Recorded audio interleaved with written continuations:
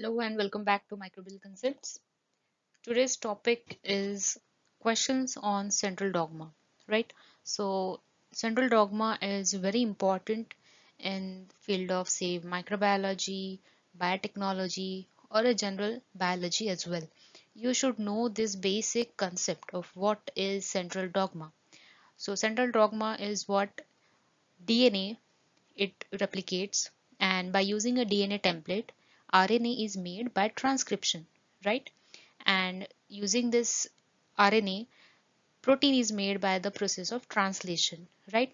So this is the simple central dogma uh, which we learn in say molecular biology and there are various different different uh, subtopics in central dogma right like um, protein folding and all then RNA, uh, RNA splicing right? So these are some other topics but today we are just going to focus on the basic of central dogma questions on the basics of central dogma okay?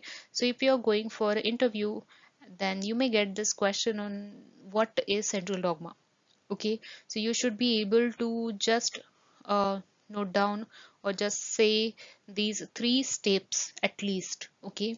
No one will assume uh, all the details but at least you should know these basic three steps okay? So let's start. So the first question is which of the following best illustrates the central dogma of biology in terms of how a cell makes protein? Okay so these are the options given DNA to RNA to protein, then DNA to DNA to protein, then DNA to RNA to protein. The even the um, processes are different here. Okay. The next is RNA by translation is made DNA.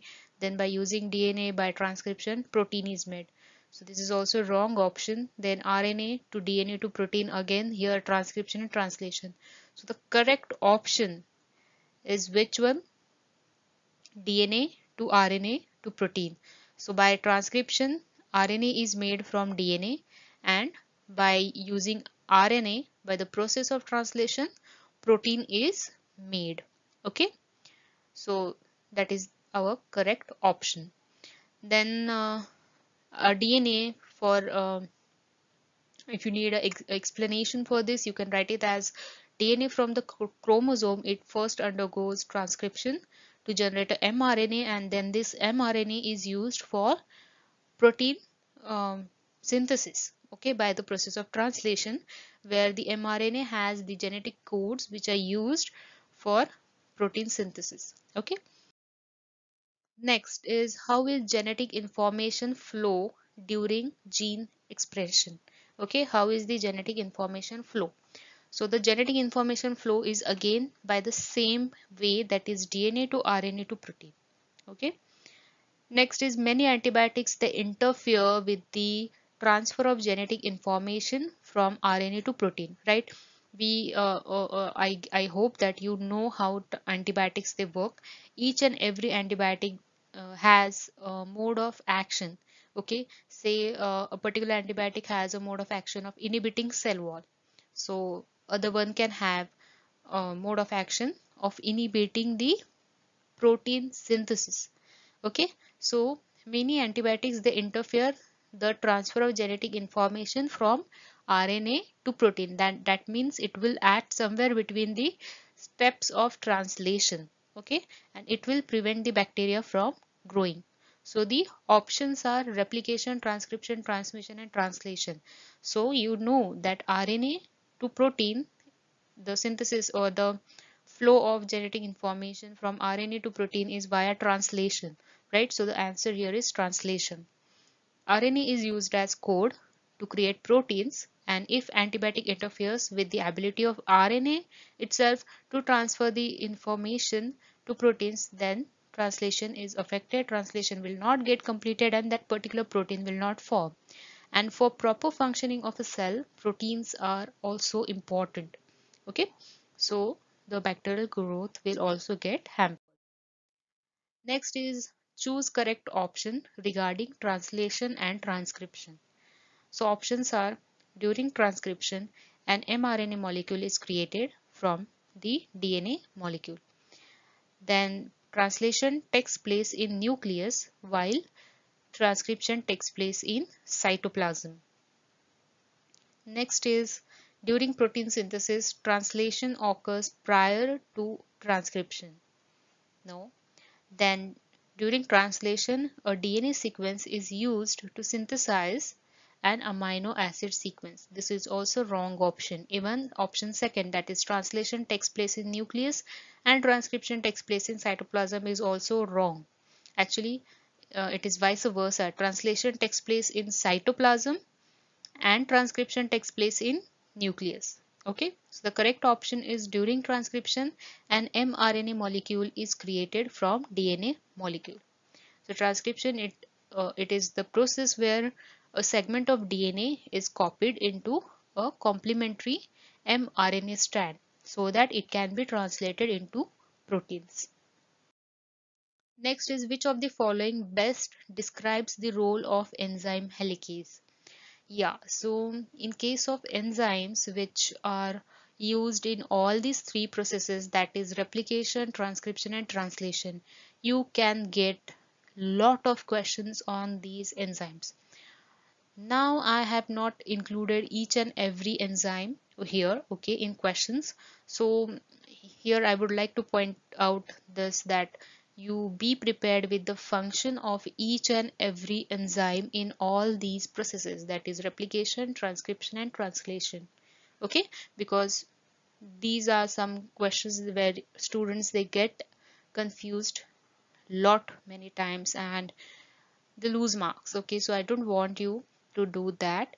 You just be prepared for uh, some or do some extra work on these enzymes and do by heart their roles as well.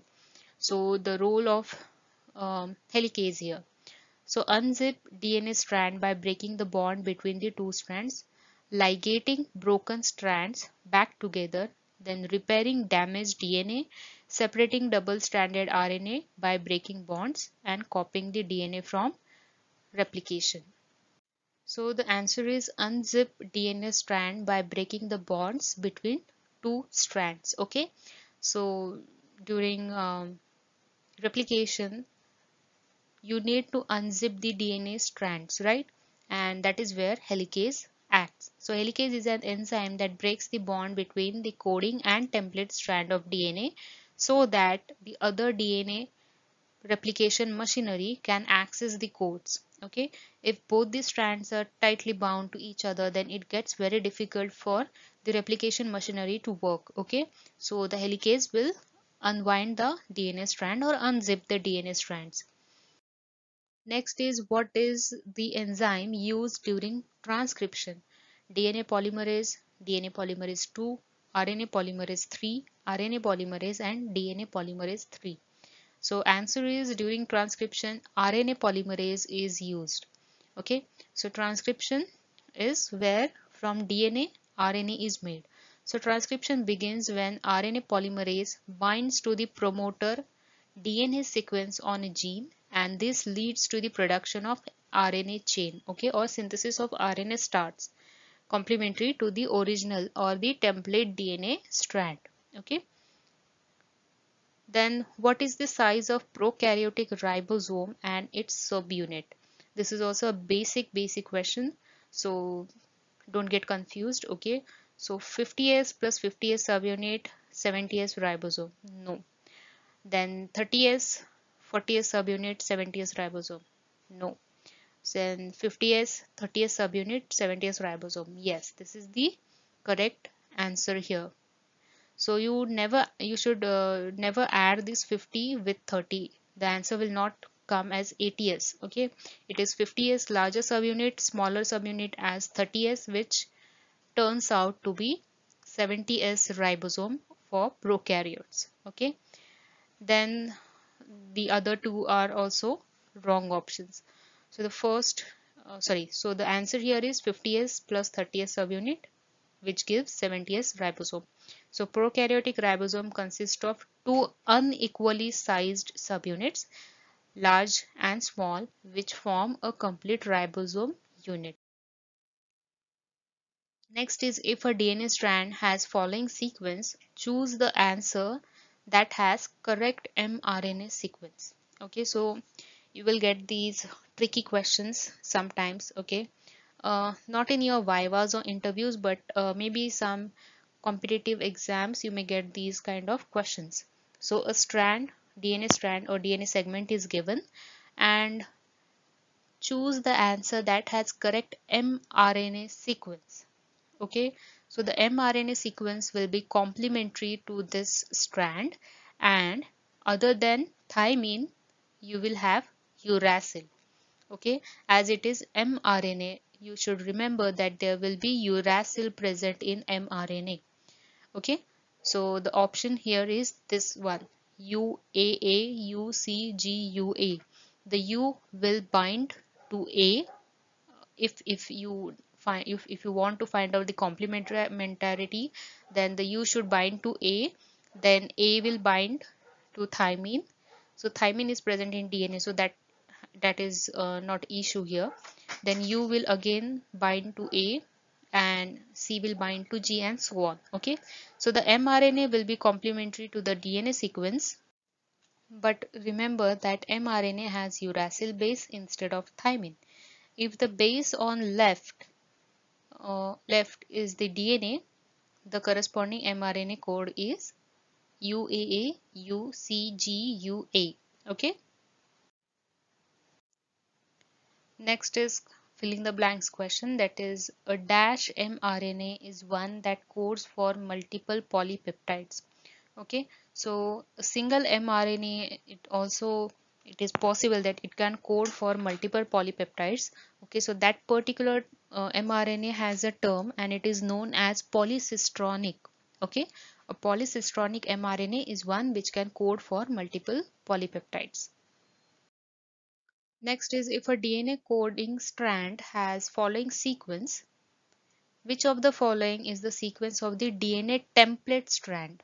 Okay so the coding strand is given and the template strand is asked here. So that will run from 5 prime end to 3 prime end and it will have options from these two last two options. Why? Because the first base is adenine and adenine will pair with thymine. Okay so you should look for these two options. So after adenine there is cytosine. So cytosine will code uh, sorry it will pair with guanine. Again the thymine which will pair with adenine. Okay so the option is this. Fourth one. T G A C A A T G. Okay from 5 prime to 3 prime end this will be the template strand for the given uh, DNA strand okay? So the DNA template strand will be complementary to the DNA coding strand. And if the base on the left is coding DNA uh, the corresponding template strand is this okay? Then another one is which of the following are purines right? So as we are dealing with DNA you should know which are purines and which are pyrimidines okay? So cytosine only or adenine and guanine cytosine and guanine adenine only and guanine only Okay, so the purines are adenine and guanine and pyrimidines or pyrimidines are cytosine and thymine. Okay, to help remember which bases are purines and which are pyrimidines, there are two acronyms pure as gold. Okay, so adenine and guanine are purines because of their structure. And also pyrimidines like pyramids are sharp. Okay? Sharp things they cut.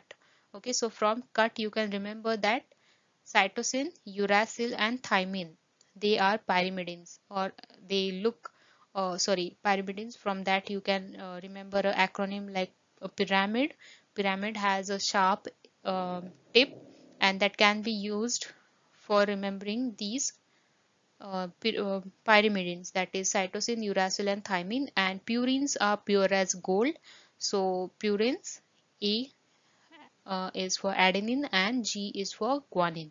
Okay.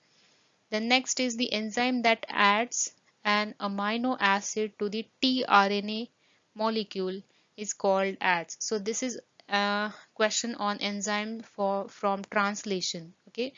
The process where pro proteins are synthesized by using mRNA. So here amino acid tRNA synthetase is the enzyme which actually works or it functions as to add an add an amino acid to tRNA okay? That is amino acyl or amino acid tRNA synthetase okay then which statement is true regarding RNA RNA is single stranded molecule. RNA can be replicated. RNA contains adenine guanine cytosine thymine and adenine uh, sorry uh, RNA is a protein. So the first option is only correct here. That is it is a single stranded molecule. RNA cannot be replicated. RNA they uh, RNA contains uracil other than thymine and RNA is used to synthesize proteins. Okay so RNA is not a protein. Then next is which of the following is not involved in the initiation of replication? So ligase DNA gyrase, single stranded binding proteins and primase. Okay, so the ligase is one which is uh, needed at the end of replication to and the function is to seal gaps or nicks between Okazaki fragments. Okay, so other three options which are DNA gyrase, single stranded binding proteins and primase they are required at the initiation of replication and ligase is required at the end okay and the last one is during elongation in translation which to which ribosomal site does an incoming charged tRNA molecule binds okay so there are three sites that is A site which is amino acyl tRNA binding site then polypeptidyl tRNA binding site and exit site okay so this is the site where the uh, incoming charged tRNA molecule will bind. By P site, the amino acid will be uh, amino acid will be added to the polypeptide and the leftover tRNA molecule will exit from the E site. Okay, so the option here, correct option here is A site. A site is where the charged incoming tRNA molecule will bind. Okay. So these were some questions related to central dogma in biology and uh, there are many more questions but I had limited to these 15 or 16 questions here. Okay, so very important is you should know functions to each and every enzyme which is involved in say replication, transcription and translation, right? And other subtopics which are important from uh, central dogma related topics are uh, protein folding, then RNA splicing and all. What is intron, what is extron, uh, sorry, what is intron, what is exon and all. So that is also very important and you should learn that. Be thorough in these concepts. Okay. So thank you for watching this video and do like, share and subscribe to my channel. And I hope you like my videos and do share your valuable comments in comment box. Thank you.